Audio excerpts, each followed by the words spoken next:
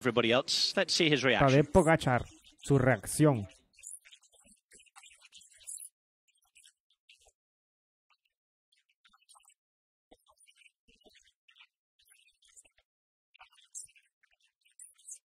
So yeah, I would say uh, it was a really, really nice day. Now, I suppose you're focused on the three days to go. You, you know uh, almost every climb of the three days to go. Uh, I know the last day really, really well. So uh, that's my home training loop almost. So it's a really nice uh, stage. But uh, no, I don't know. I don't know the roads tomorrow and uh, the day after. Uh, I didn't. Uh, was uh, published too late to to do the recons. Where, where, where do you really need to focus? Uh, is it the climb to La Cuyol, or is it, or do you have to s- remain focused all the time? Yeah, I think even tomorrow it's gonna be really uh, stressful. It's a really uh, yeah classic stage. I would say anything can happen. Uh, a lot of surprises. Then uh, stage seven is uh, the most predictable, I would say, and just measure your effort to the top. And then yeah, I like the most the the final the final stage is really really interesting. Even today on a flat stage, you attacked to get that precious bonus two seconds. Well, yeah, uh, the tension was rising before the climb, and we saw, yeah, a lot of riders want to go for it because yeah, it's three seconds, and then uh, yeah, I I did mistake. I tried to pass on the right, but was no space, and yeah, only two today. Not too bad. Thank you very much. Not too bad. Tadej Pogachar y su reacción al final de la etapa número 5. Aquí podemos ver la general de la etapa en el día de hoy, de la París-Niza, la etapa número 5. El ganador, Olaf Koy. Mire que ganó uno del Jumbo Visma. Y en la terreno adriático ganó otro del Jumbo Visma, Primoz Roglic. O sea, el Jumbo Visma hoy ha barrido con todo. Olaf Koy con 5 horas, 19 minutos 54 segundos. El resto del top 10, Matt Pedersen, Tim Merlier, Mateo Trentin. Acá podemos ver un tal Canter del Movistar. eh, Brian Coquar. Coquar. Séptimo para Sam Bennett. Octavo para Marit. Octavo para. Noveno para Hugo Pay. Y cerrando el top 10, Ball. Ahí está. Pero acá tenemos la general. ¿Cómo va la carrera de la París-Niza? O sea, así va la París-Niza. Primer lugar. ¿Y quién lo baja de ahí?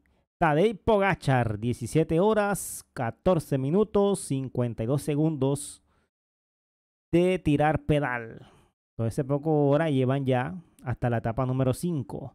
Segundo lugar para David Gaudud a 6 segundos. Tercer lugar para Jonas Vinegar a 46 segundos.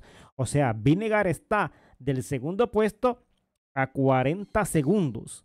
¿Será que Jonas Vinegar puede descontarle a David Gaudud 40 segundos?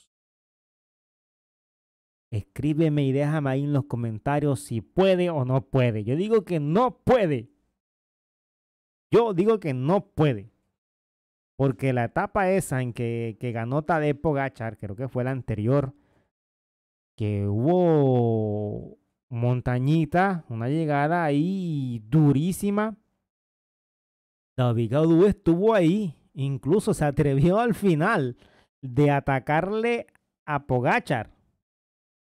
Fue que Pogachar lo atacó a Gaudú y, el y Pogachar respondió.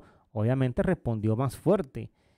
Y vemos que en esa etapa eh, Vinegar tenía cerquitica a Pogachar. Antes de que Poga- Pogachar conectara con Gaudud, porque Gaudud iba por delante, era el que iba a ganar la etapa. Antes de eso, eh, Pogachar se le fue con todo a Gaudud. Y Vinegar trató de írsele a la rueda atrás a Pogachar. Y lo tuvo cerquitica, tuvo, yo digo, ya lo va a conectar, va a conectar.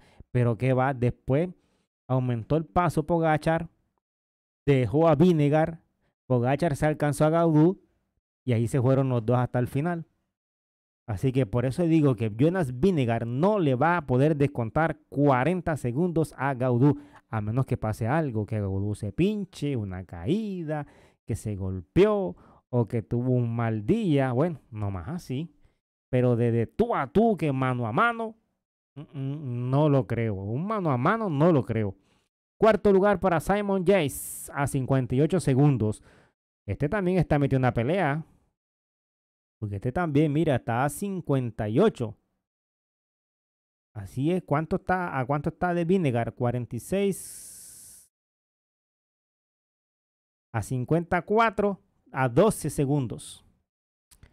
12 segundos Simon James del tercer lugar del podio. Quinto lugar para Gino Meider a 1.21. Sexto Román Bardet a 1.42. Séptimo Daniel Felipe Martínez, el colombiano. Este, mm, el colombiano, yo pensé que iba a estar más adelante en la general. Yo pensé que iba a estar por encima de Román Bardet. Es mejor que Román Bardet. Es mejor que Gino Maider. Debería estar en peleando ahí con Simon James. Es más, la posición de Simon James debía ser de Daniel Felipe Martínez. Entonces debe ser que no está muy bien, excelentemente físicamente el colombiano. Octavo lugar para George Herson del Movistar a 1.44. Noveno lugar para Nils Pollins News Paul mm, Powells, Powell, News Paulins a 1.46 y cerrando el tote Mateo Sobrero. Así es. Ahí está.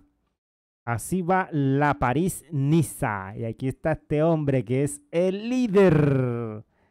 Y lo tuvimos aquí con su reacción tras la etapa número 5 de esta París-Niza. Tadei Pogachar.